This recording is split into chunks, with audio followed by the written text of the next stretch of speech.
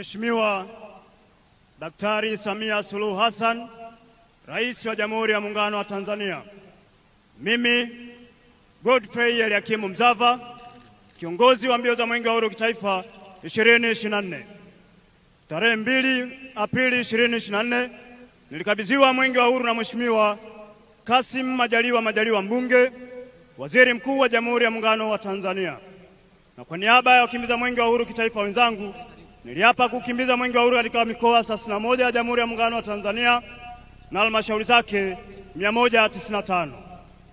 Mheshimiwa Rais, leo tarehe 14 Oktoba 2024 naomba kutaarifu ya kuwa Mwenge wa Uhuru umekimbizwa mikoa yote 31 ya Jamhuri ya Muungano wa Tanzania na halmashauri zake 195.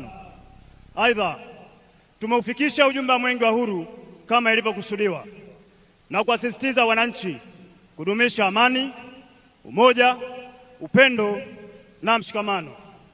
Mheshimiwa Rais, kwa heshima na taazima, ninaomba kukabidhi Mwenge wa Uhuru ikiwa ni ishara ya kuhitimisha mbio zake kwa mwaka 2024. Ee Mwenyezi Mungu nisaidie.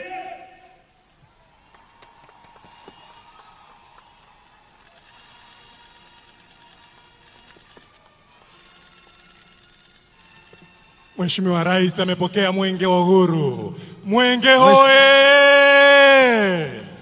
Mheshimiwa Rais, baada ya kukamilika hatua hiyo ya kukabidhiwa Mwenge wa Uhuru, sasa tunakuomba urejee katika nafasi yako kwenye jukwaa kuu kwa ratiba nyingine zinazofuatia. Mheshimiwa Rais, tunakushukuru sana kwa hatua hii.